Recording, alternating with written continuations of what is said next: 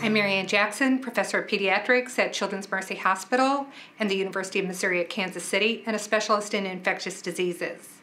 Today we're going to talk about a new drug that was just approved by the FDA called Baloxavir. This is the newest drug to come on board that fights influenza. It's given as a single dose and it's licensed for children 12 years of age up through adult.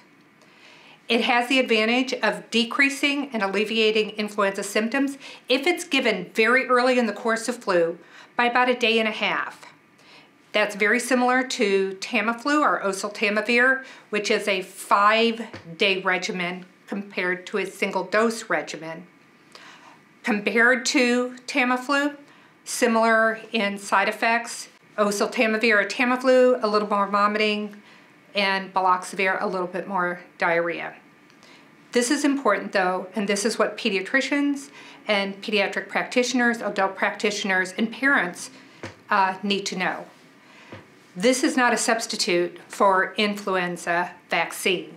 The influenza vaccine this year appears to be very good match for the viruses that are circulating. You need to have your vaccine though by the end of October. We're only seeing sporadic activity in Missouri and Kansas now, but it's going to ramp up in November. So bottom line, get vaccinated. Secondly, know that this new drug is out there and ask your doctor about it if indeed you develop influenza. It has to be given early though in the course of treatment.